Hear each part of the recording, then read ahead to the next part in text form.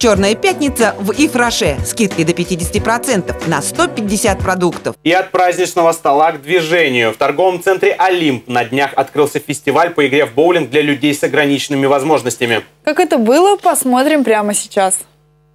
У них ограниченные возможности, но безграничный потенциал и большое желание быть в гуще событий.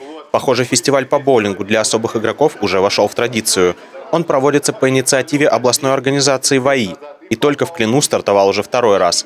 Как и два года назад, площадкой послужил боулинг-зал торгового центра «Олимп». Это эмоции, это положительные эмоции, это ну, от всего, от встречи, от игры, от победы. Даже если не победил, все равно он в душе себя считает победителем. Помимо участников, а их в этот раз набралось более полсотни из восьми подмосковных городов, на фестивале присутствовали гости.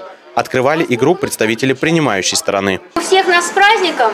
Я считаю, что сегодня праздник. Сегодня праздник. Сегодня замечательный праздник, праздник общения, праздник, можно сказать, такой силы духа. Мы вперед, и пусть сегодня все получат замечательную порцию хорошего настроения. А потом турнир начался с отчаянным азартом и желанием победить.